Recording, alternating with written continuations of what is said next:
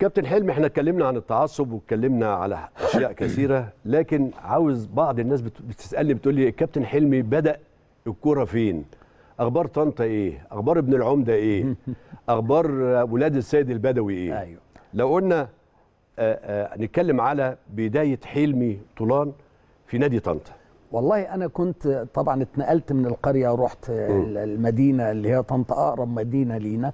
عشان التعليم والمدارس وكده مستوى المدارس كان أفضل. ف بنلعب في في في الملعب بتاع المدرسة. نعم. آه وكان متواجد ساعتها الكابتن رضا سامي ده كابتن نادي طنطا رضا جنجا. جانجا كان شعره أحمر كده من اللعيبة الكبار جدا جدا. طب وشعر فشافني. أحمر؟ آه. شعر أحمر ليه؟ أحمر أحمر. هو آه شعره كده. آه آه، يعني- يعني هو سابه ولا أيوه حاجة؟ لا لا لا مش سابه لا. آه. بس فشافني وقال لي تعالى. أنا كنت عاوز أعرف اللون عشان اثبت شعر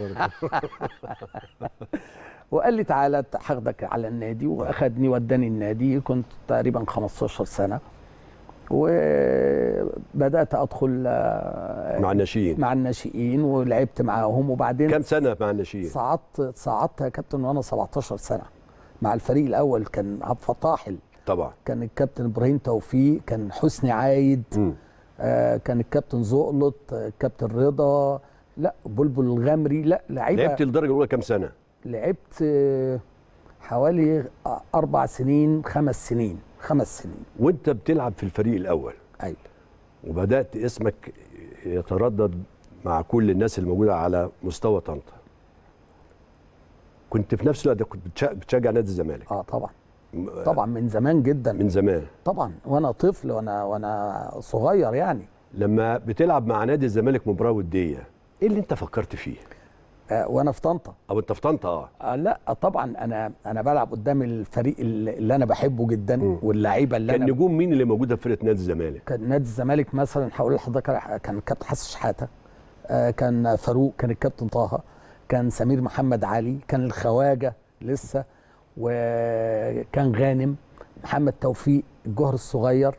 آه، دول الناس كابتن اللي شوقي. آه، كابتن شوقي. شوقي حسين. شوقي حسين طبعا. آه. آه. يعني دول دول الناس اللي أنا اللي أنا حصلت طارق غنيم. وطارق غنيم وهاني آه. غنيم وهاني غنيم. طبعا ممدوح مصباح. دول كلهم أنا لعبت ضدهم وأنا في طنطا. وأنت في طنطا. وأنا في طنطا. وأنت بتلعب قدامهم. ولعبت قدام الأهلي برضو على فكرة وكسبنا الأهلي 1-0 لا خلينا على جنب دلوقتي ما ماتش. نجيبش ما نجيبش سيره الأهلي دلوقتي.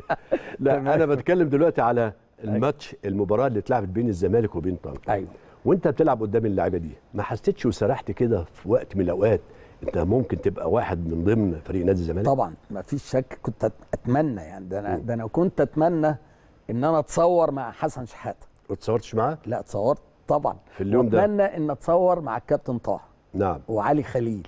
وعلي وال- خليل طبعا. يا سلام. النجوم الكبار دول كنت أنا بتمنى بس آه. وأنا بلعب في طنطا إن أنا أتصور معاهم. فما بالك بقى لما أروح أبقى واحد معاهم وواحد زميل ليهم في الملعب وفي النادي يعني. طيب. كان حاجة كبيرة ونقلة كبيرة جدا في طبعا. حياتي يعني. وأنت موجود في الملعب وأنت حسيت إن أنت عامل مباراة كويسة. أيوه. لما جالك الله يرحمه المهندس نور الدالي قابلك إزاي؟ كلمك إزاي؟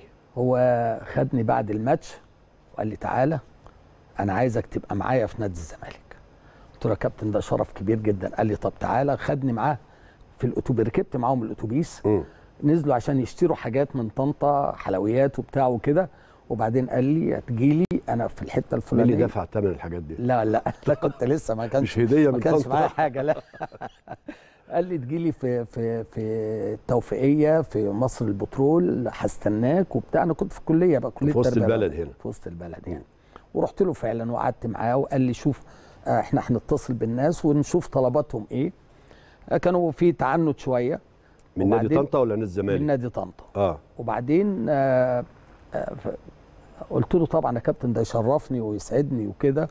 وبدأت أضغط عشان أمشي من نادي طنطا. نعم. واتفقوا على مباراة آه، نادي طنطا نادي الزمالك يجي يلعبها والدخل بتاعها يبقى لصالح نادي طنطا يعني. ففي الوقت ده أنا كنت في فريق الكلية. ورايحين نلعب في آه، جامعة عين شمس. وكان الكابتن عمرو أبو المجد هو مدير الفني بتاعنا يعني. وكان معيد في نفس الوقت في وكان الكلية. معيد آه معيد, آه. معيد وأستاذ وكان مدرب ماسك قطاع الناشئين في النادي الأهلي. فالمهم راجعين أنا راجع على على ال- الكلية. فالكابتن عمرو قال لي تعالى بس هجيب حاجة من النادي الأهلي وتعالى معايا ون- ونبقى نكمل بعد كده سوا. نزلت قعدت في كلاب هاوس كان زيزو قاعد مع الكابتن صالح سليم. يعني الواقعه بالظبط وعلى فكرة الناس عايشة يعني. آه الكابتن عمرو عايش آه الواقعه بقى بكمالتها الأستاذ ممدوح الشافعي الصحفي عايش بس الله يرحمه آه الكابتن عبده البقال وزقلط طبعا دول دول شهود الواقعة يعني. نعم. فطبعا رحت نزلت. أنا مش أنا مش. أنا ما أعرفش أنا رايح ليه. والله يا كابتن مصطفى نعم. ما أعرف. فالمهم أنا قعدت بعيد شوية ولقيت كابتن عمرو بينادي لي. قعدت مع الكابتن صالح طبعا رهبة ب... طيب قبل ما تقعد مع الكابتن صالح عندنا تقرير مع الدكتور عمرو بن مجد. تعال نشوف هيقول إيه ونرجع تكمل الموضوع.